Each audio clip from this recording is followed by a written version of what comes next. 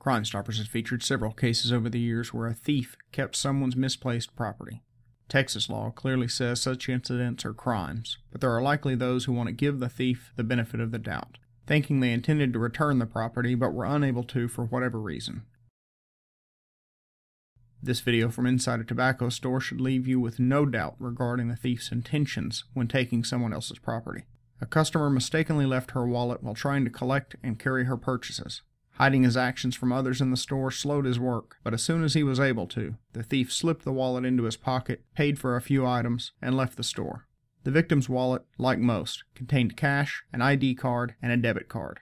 The thief is a tall, slim black male with a goatee. He was wearing a white t shirt with St. Jude on the front, red basketball shorts with white stripes on the legs, and red shoes with yellow lace. This case has been solved, but Crime Stoppers may pay a reward for information that solves another felony crime or leads to the arrest or grand jury indictment of a felony offender.